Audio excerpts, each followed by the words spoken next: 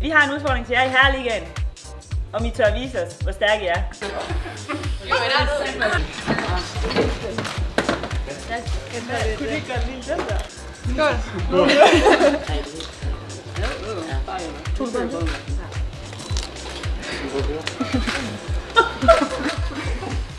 Jeg tror, at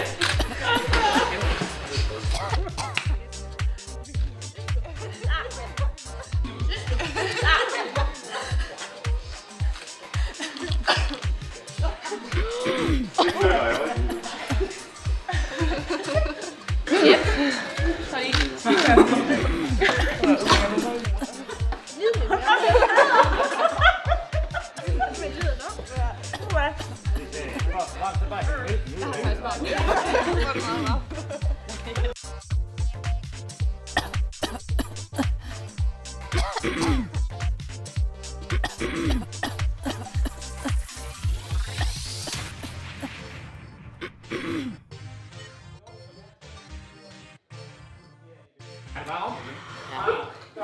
det hele.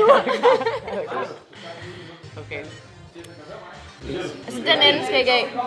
Den der, altså, nej, nej, det er lige meget. Okay. Er det bare nu? Nå. Vi vil repræsentere øh, verdens stærkeste liga, og drenge, det her det er en vindstyrke 11, så I tager bare udfordringen op. Er du klar? Okay. 1, 2, 3, nu.